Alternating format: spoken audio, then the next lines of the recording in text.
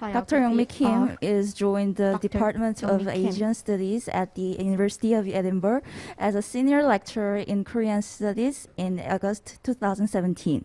And prior of this, Dr. Youngmi Kim was an asso- associated professor of international relations and public policy at Central European U- University Budapest.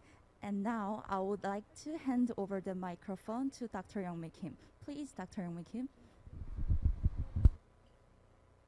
Thank you for your introduction. Um, let me introduce Professor Yong-Ho Kim, who will give a welcome remark. Um, Professor Yong-Ho Kim is currently serving as president of Yun Posun Institute for Democracy since 2021, also working as the editor-in-chief of Asian Brief, online weekly issue published by Asia Center at Seoul National University. Please welcome President Yong Ho Kim.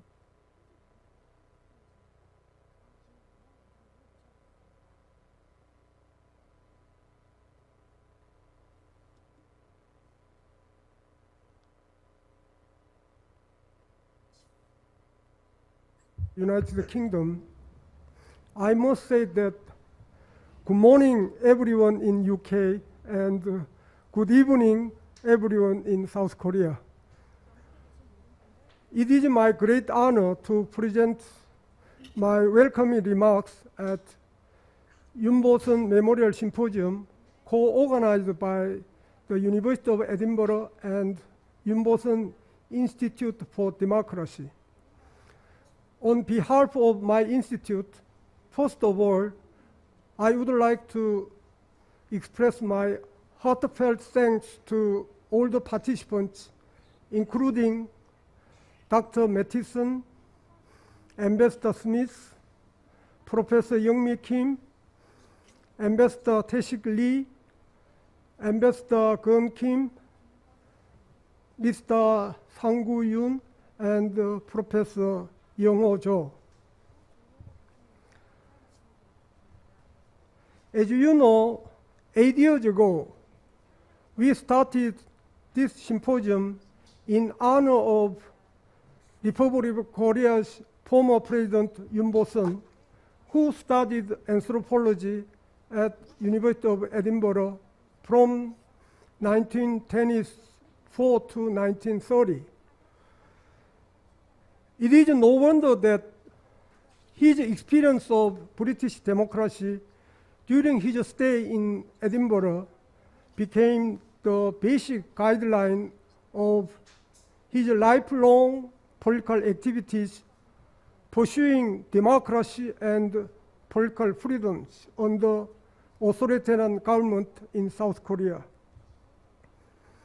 In this regard, I appreciate the University of Edinburgh, which provided him with the, the foundation of his strong belief in democracy and political freedom. Thanks to democracy movement led by Yoon Bo-sun and other political leaders, South Korea finally introduced the democratic political system in 1987.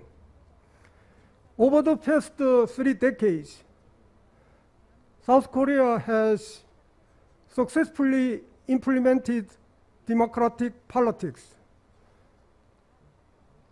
However, South Korean democracy is not perfect and uh, still fragile.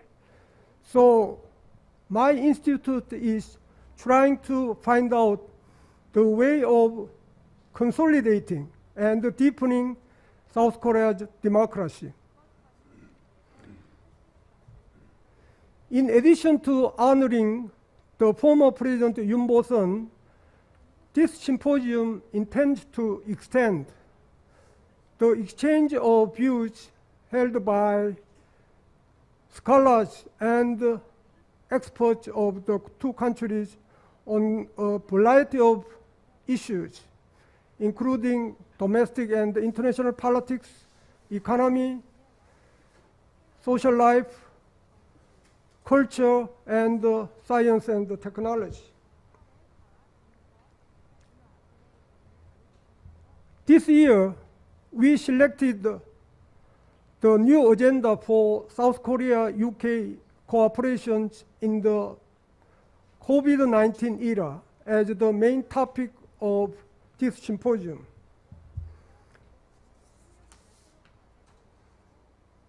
As you know, the COVID 19 pandemic has been significantly changing people's daily life in the world.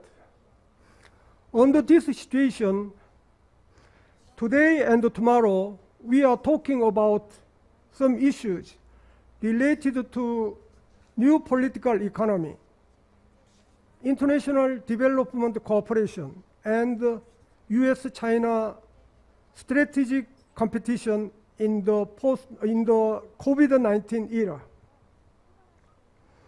I hope this symposium will contribute to facilitate the strenuous efforts of South Korea and the UK governments, which are trying to bring our daily life back to normal. It is my desire that this symposium is also contributing to the promotion of bilateral cooperation between South Korea and the United Kingdom, which are confronting similar challenges in the COVID-19 era. Lastly, but not the least, I would like to emphasize that this symposium is one way of helping University of Edinburgh Advanced Korean Studies program. As you know, University of Edinburgh created the Korean Studies program and recruited Professor Youngmi Kim as a senior lecturer for the program in 2017. I am very delighted to see that the university's Korean Studies program is slowly developing. For example, in early September this year, more than 100 early career researchers and uh, graduate students who came from not only the UK but also many countries in the world participated in the big conference on East Asia under the leadership of Professor Youngmi Kim. I hope my institute will continue to help University of Edinburgh develop the Korean Studies program. Finally, I would like to express my gratitude to the staffs who have diligently prepared for this program in the hybrid form of online and offline. I hope you enjoy this symposium very much. I will stop here. Thank you very much.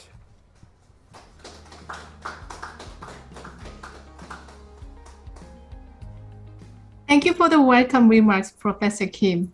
And next, Professor Peter Mathieson, Principal and Vice Chancellor of the University of Edinburgh, will give an opening remark. Professor Peter Mathieson took over the office of Principal and Vice Chancellor of the University of Edinburgh in February 2018. He was formerly the 15th President and Vice Chancellor of the University of Hong Kong. Please welcome Principal and Vice Chancellor Peter Mathieson. Thank you, uh, Youngmi, and uh, good morning from Edinburgh and good evening to uh, South Korea. So we're um, sorry that we're not meeting physically either in Edinburgh or in uh, Seoul. It's very difficult to find hotel rooms in Scotland at the moment because of COP26 uh, taking place just 44 miles from where I'm standing. So um, we uh, um, maybe chose a good moment to have a hybrid conference. Um, but we're very pleased to see our friends and colleagues from uh, from Korea and uh, and to continue this excellent relationship that we have between our universities uh, and, our, and our people and our countries. Um, so, uh, Professor Kim, Excellencies and Ambassadors, colleagues, friends, um, uh, just a few words of welcome uh, from me. Um, we're very proud at the University of Edinburgh of our alumni.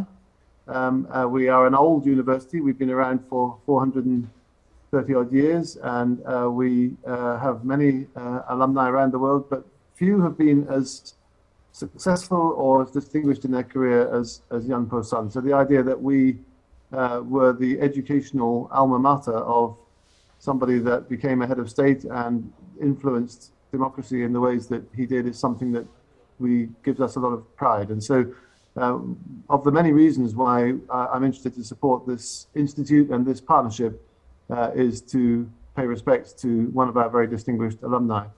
And you will also be aware that uh, in 2019, soon after I arrived here, um, we honored uh, Yun Sang-koo, um, son of Yun Posun, uh, with an honorary degree. So we've continued our connections with the, with the family.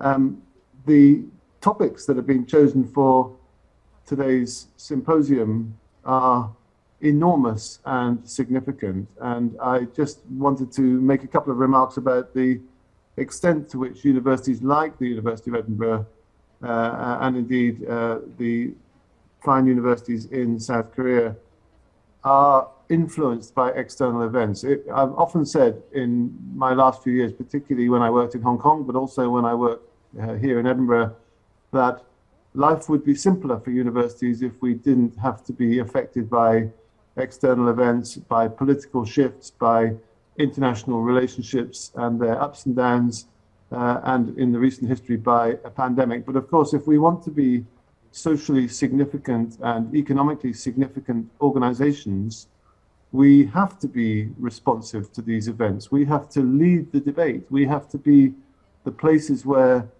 the discussions take place about how we should react to such events. And the pandemic is a very good example. Universities all around the world, including in Scotland and in Korea, have uh, led the scientific response to the pandemic. We've had our scientists studying the virus itself.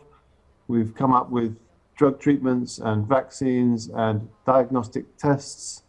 And we've also had our academics studying the social and economic and political consequences of COVID. And I think there will be textbooks and PhD theses written for years to come on the ways in which universities and uh, academics contributed to the management of the pandemic and the extent to which evidence and policy were linked.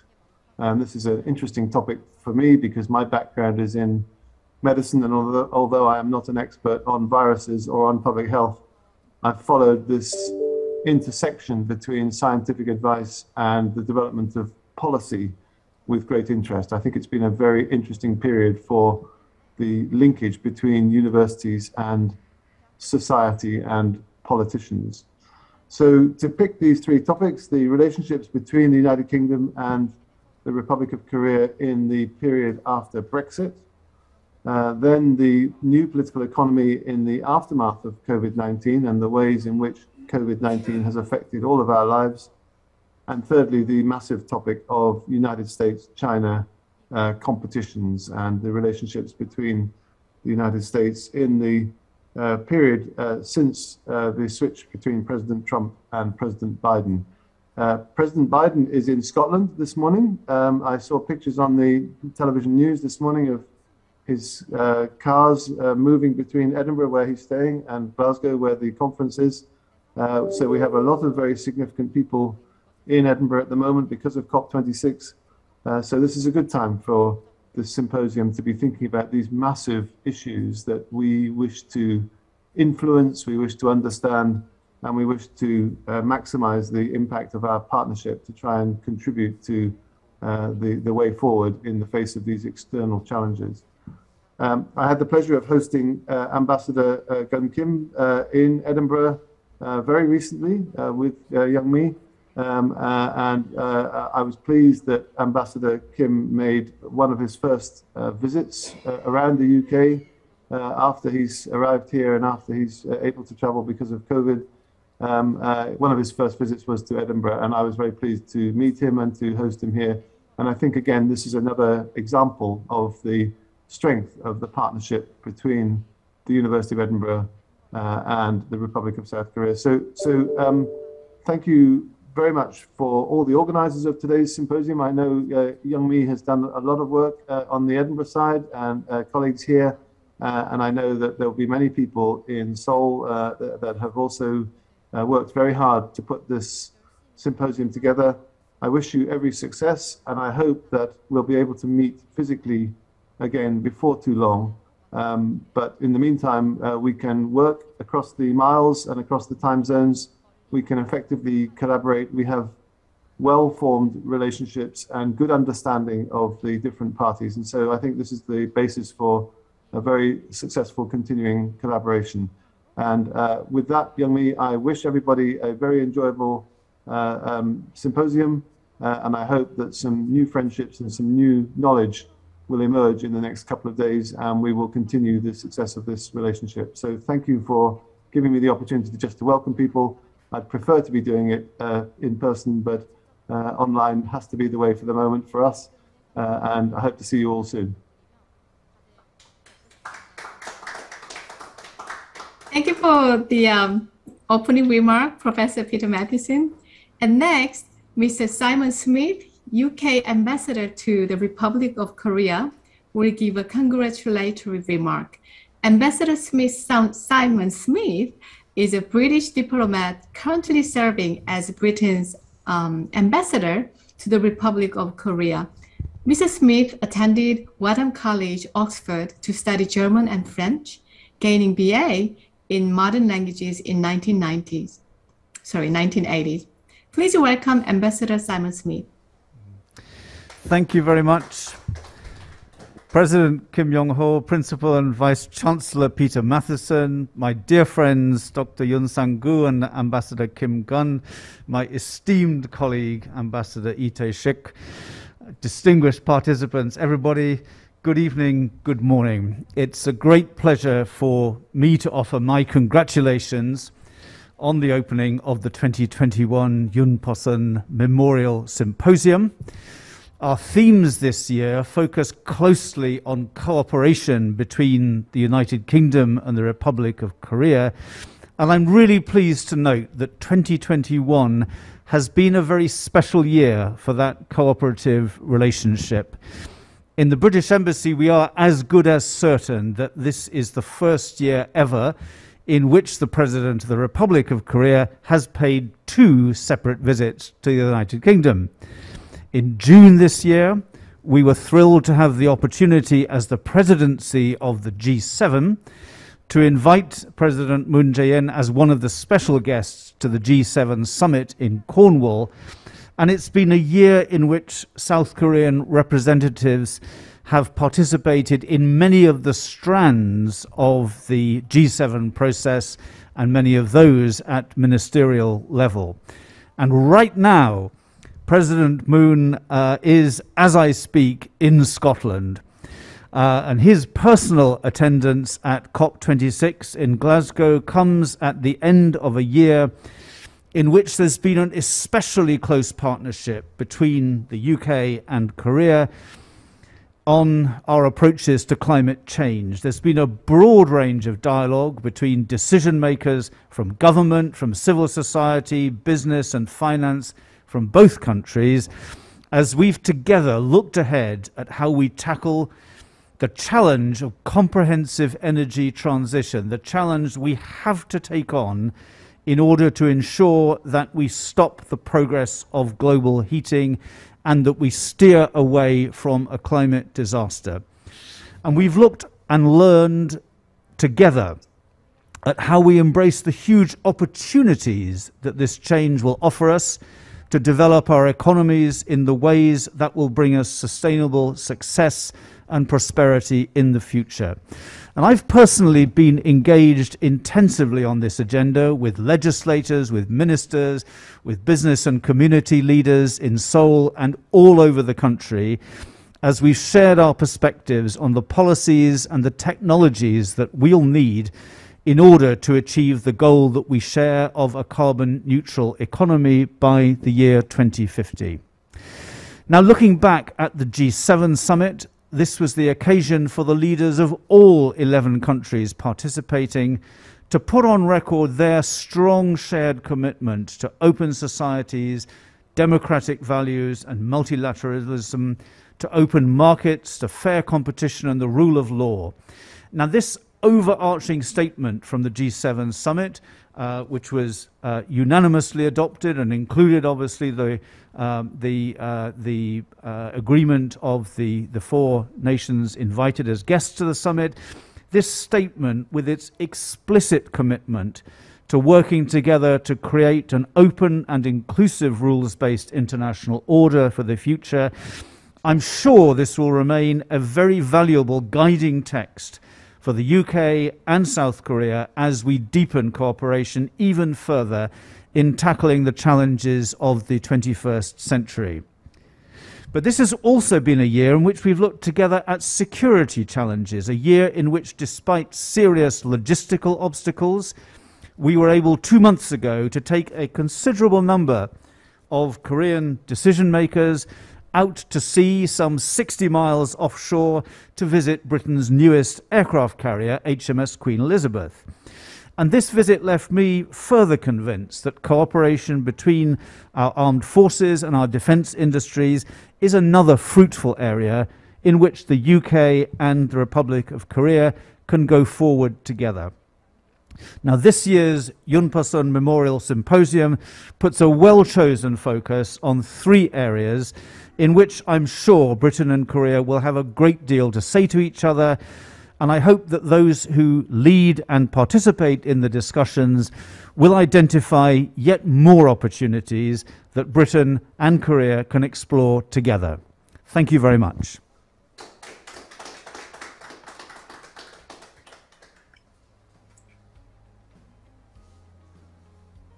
Thanks for the congratulatory remark, Your Excellency, Mr. Smith. Mm, next, Mr. Kon Kim UK ambassador of the Republic of Korea will give a congr congratulatory remark. Mr. Kim was appointed as the ambassador of the Republic of Korea in July 2021. Ambassador Kon Kim will deliver a congratulatory remark in a video, unfortunately. Uh, please watch the video. Principal and Vice Chancellor Peter Mathieson, Excellencies, distinguished guests, ladies and gentlemen. I am pleased to join you today for the 2021 Yunposun Memorial Symposium. I wish to express my sincere gratitude to all participants who are joining online. I am confident that you will give us thoughts to further strengthen Korea-UK relations. And I wish to thank the University of Edinburgh for kindly hosting this event. I also thank Yunposun Memorial Association in Korea for their unwavering efforts in promoting the former president's legacy. Last month, I visited the University of Edinburgh and gave a lecture on Korea and the UK. Over 100 students participated in the lecture and raised sharp, incisive questions throughout the session. Their questions were not only confined to relations between our two countries, they were also extended to global issues such as Quad, China, Japan, and the Indo-Pacific. I was deeply impressed that these young scholars and students were so interested in Korea and its view on global issues. Let me briefly touch on the past and current status of Korea-UK relations. The UK has been a long-standing friend of Korea. Our diplomatic relations date back to 1883. Since that time, our two countries have developed a close partnership. And as you are well aware, British soldiers fought alongside us during the Korean War in the 1950s to defend our freedom, for which we, the Korean people, are still tremendously grateful. We have come a long way since then and in recent years, we have become closest than ever as we share our core values of democracy, market economy, and human rights. We have also seen remarkable growth in investment in recent years. I have high hopes that our economic cooperation will grow even further as we are well prepared for the post-Brexit era thanks to the ROK UK FTA. Cultural and people-to-people exchanges have also witnessed a phenomenal boom. Koreans love dramas and music from the UK, such as The Crown and Coldplay. K-drama and K-pop exemplified by Squid Game and BTS are also loved by the British people. Recently, Coldplay and BTS collaborated in a music video titled My Universe. It is beyond merely enjoying one another's culture. Rather, we are collaborating and creating new things together. So it is noted that this is the start point of a new phase of cultural exchanges. This year, we have witnessed remarkable progress in the relationship between the two countries. Last September, Korea and the UK set up a vaccine swap by sharing over 1 million COVID 19 vaccine doses.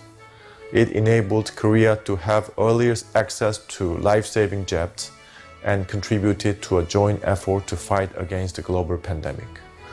Furthermore, President Moon Jae-in visited the UK twice this year for summits hosted by the UK government. There were the G7 in Cornwall and COP26 in Glasgow. This further demonstrates our relationship is becoming stronger than ever. Ladies and gentlemen, it has been almost four months since I came here as ambassador. As I manage my daily schedule, I continuously ask myself, in the post-COVID era, what are the areas of cooperation and focus within Korea-UK relations? What challenges will we face and how do we best jointly address those difficulties? In this regard, I find this symposium to be highly timely and relevant, given its title, A New Agenda for South Korea-UK Cooperation in the COVID-19 Era. And I would like to highlight the role of the Yun Posun Memorial Symposium. It has been making a strong valuable contribution to the sharing of knowledge between scholars and enhancing mutual understanding between us. It has been making a strong, valuable contribution to the sharing of knowledge between scholars and enhancing mutual understanding between us. It has been broadening its scope with time from primarily focusing on political issues to expanding to cultural and historical as well as social and economic issues. I hope that the rich discussions of these two days will provide us with valuable insights on how to go forward in the post COVID 19 era. Thank you for your attention. Thanks for congratulatory remarks by ambassadors for, uh, from both countries.